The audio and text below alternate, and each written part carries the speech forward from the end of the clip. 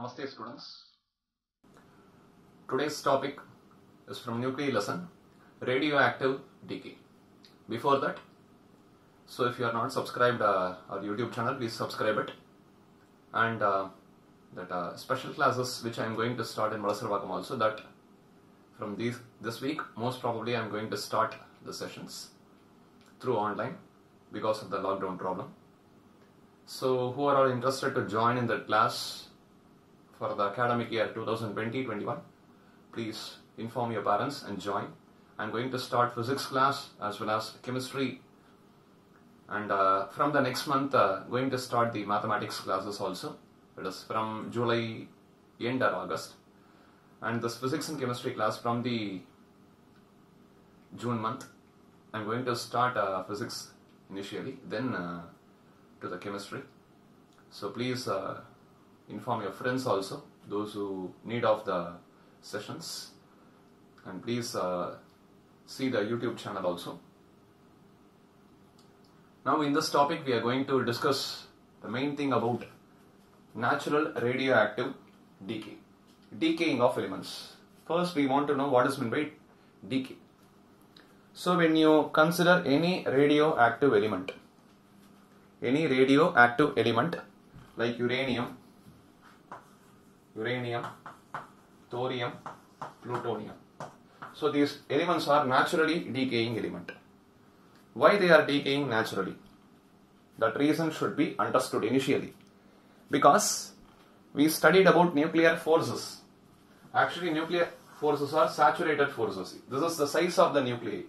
If the nucleons are completely filled up inside the nuclei, it is completely, it is filled, it is overflowing means number of nucleons increases.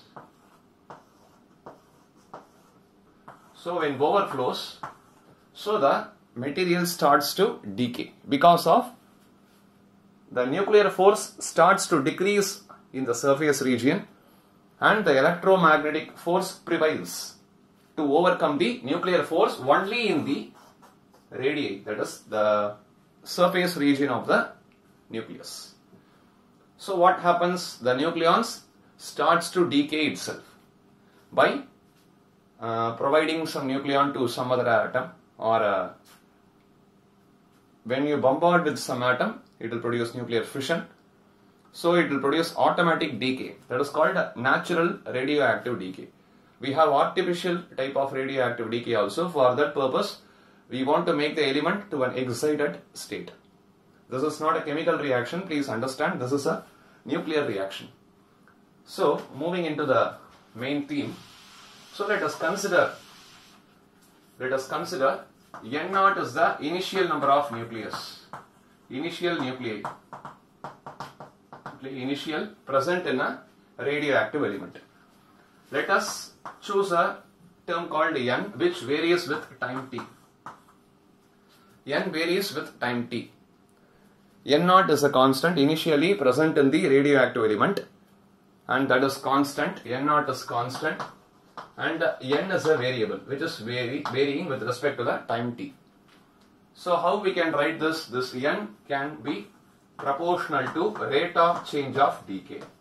So here it is decay. Decay means the final value will be lesser than the initial value. So minus dn by dt. Growth means plus dn by dt. Decay means minus dn by dt. So the rate of decay is proportional to the number of nuclei present with respect to the time. This we want to consider initially. This is the thing, first relation we are going to write in the radioactive decay. Then from this we want to write law of radioactive decay or law of radioactivity. How we can uh, prove this? First rearrange the terms. So bring the dt this side and minus dn by n. On removing the proportionality constant, on removing it we are getting a constant called lambda.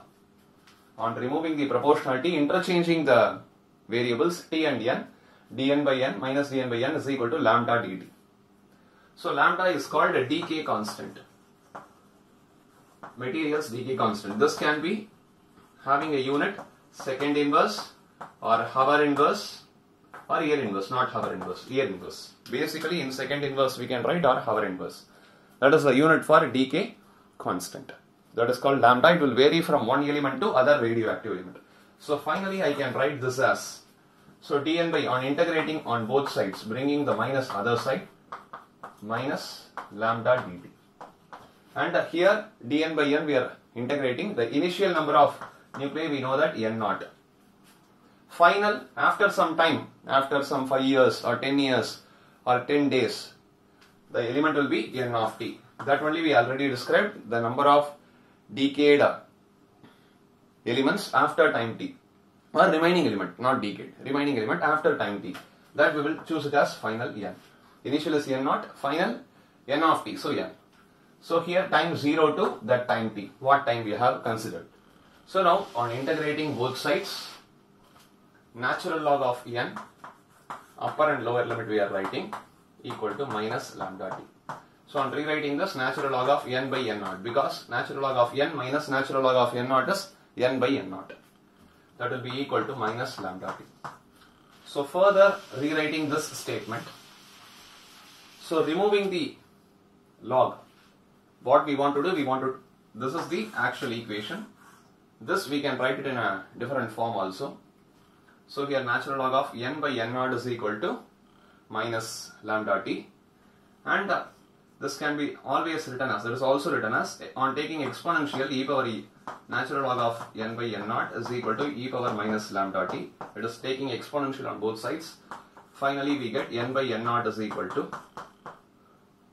e power minus lambda t. So n equal to n naught e power minus lambda t. This is your law of radioactive decay.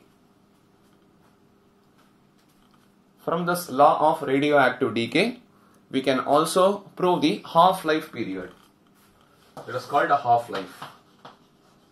We have studied about half-life. Half the number of elements to decay is known as half-life period. First initially நம்ம கிட்ட வந்து ஒரு ஐம்பது elements இருக்கு அப்படின்னா அந்த ஐம்பது element வந்து இருபத்தஞ்சு எலிமெண்டா மாறுறதுக்கு எவ்வளவு டைம் ஆகும் இருபத்தஞ்சு அதுல பாதி எலிமெண்ட்ஸாக மாறுறதுக்கு எவ்வளோ டைம் ஆகும்? That is the time taken by the element to decay to half of its initial value N நாட்னா N naught by two N naught by two becomes N naught by four N naught by four becomes N naught by eight அப்போ one by two whole square ரேஷியோல கம்மியாகிட்டே போகும். So அப்போ என்ன பண்ணணும் நம்ம? We want to write this term இந்த term எப்படி எழுதலாம் அப்படின்னு பார்த்தோம்னா at T is equal to half like that is T half T half na half life period first half life period. So n becomes என்ன ஆயிடும் N naught by 2 first half லைஃப்ல N எவ்வளவா கம்மி ஆயிடும்? என் ஆஃப் டி தான் சொல்லிருக்கோம் time பொறுத்து என் vary ஆகும். அப்ப என்ன ஆயிடும்? என் வந்து என் நாட்ல இனிஷியலா இருக்கிறது என் நாட் என் நாட்ல இருந்து பாதி ஆயிடும். That is equal to N naught e power minus lambda T equal T half Now cancelling that, further we write 1 by 2 is equal to e power minus lambda t half. So e power minus a plus a மாத்தணும். So reciprocating it and rewriting it. So I'm uh, reciprocating it. So 1 by e power lambda வரும் and interchanging e power lambda t half is equal to 2. So lambda t half is equal to natural log of 2. It is taking natural log. Finally t half is equal to natural log of 2 by the decay constant lambda.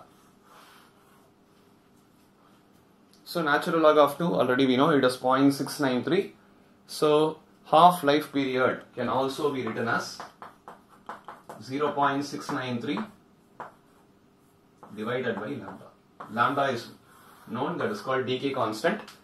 I think in this session you have understood uh, quite basic details about radioactive decay and uh, the rules to prove the half-life period from the law of radioactive decay. So this session will be very helpful uh, for the students. So if you have any interesting topics, please suggest me. I will teach that also. Thank you and subscribe our uh, Guru Shiksha Physics Kalpam channel. Once again, thank you.